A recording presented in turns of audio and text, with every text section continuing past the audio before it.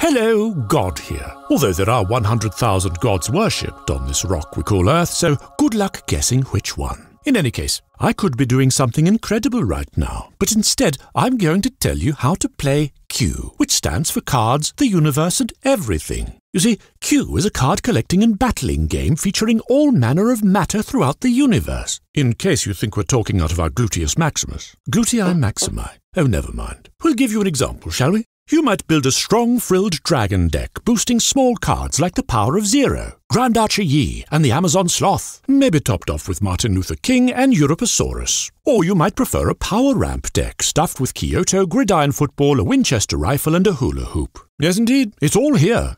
Unlike traditional card games, you build your own 18 card deck in CUE. In fact, you can build lots of them to try out different strategies. Yes, strategies plural. You see, CUE might look like it was created by a deranged chimpanzee, but it has near infinite depth. The key to CUE is this. The deck you build is as important as how you play it. You can find cards for those decks through trading, in packs, and special rewards, or via fancy features like fusion and crafting.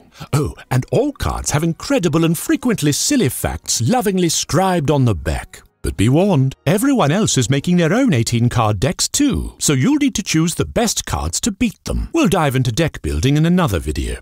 Every CUE card has an energy cost and a power value, and you can play up to three cards each turn, as long as you have enough energy to spend. At the end of a turn, your total power is compared to your opponent, and the highest power wins the turn. If you have the most power after three turns, you win the round. Win three rounds and you'll feel as euphoric as Ares on finding that Aphrodite didn't read her wedding vows. Ding dong.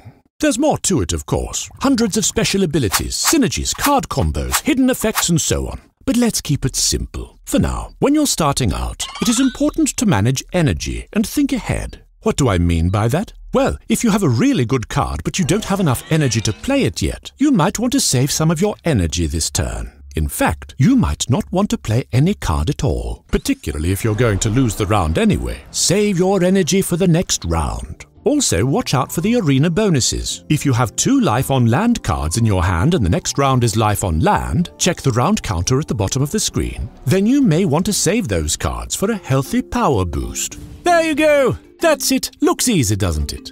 Easy to play, infinite depth, may contain nuts. Good luck, 007, and do be a dear and like and subscribe for regular updates and tips.